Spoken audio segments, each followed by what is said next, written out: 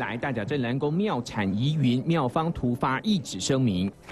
六大点声明要交代庙产数据，其中第一点就解释十次法人申请变更未曾异动财产总额二点九亿做解释，庙方把这笔金额称为基金。另外揭露二零二零年镇澜宫财务状况，流动与非流动资产包含二点九亿的基金在内，合计就有十八点六亿。镇澜宫拥有上千盏的文昌灯跟光明灯，不过这些通通都被归类在流动资产当中。文昌灯八百元，光明灯六百块钱，这些都算在。流动资产中十八点六亿庙产里，其中流动资产就占了五点五亿，这当中包括现金与应收款项。总高度有四尺两寸，总重量有两百七十六公斤的镇南公金妈祖，它在庙产当中被归类为非流动资产。金碧辉煌的金妈祖最让香客印象深刻，除了金妈祖，还有土地、停车场、公庙主体建筑物与商标权和锁进银行保险箱的黄金都算作非流动资产。除此之外，镇南宫六点声明中第五点。还公告大甲镇澜儿童家园的资产也分为流动与非流动两大项，合计五点三亿元。至少钱流是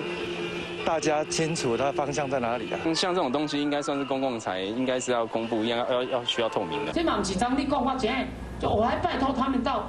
档案数去拿出来的。为了妙产疑云，大甲镇澜宫副董事长郑明坤十一月六号曾拿出捐赠章程与信徒大会手册解释，再一次发出书面回应，希望六大点说明能消弭争论。三立新王子与将军的 S N G 小组台中。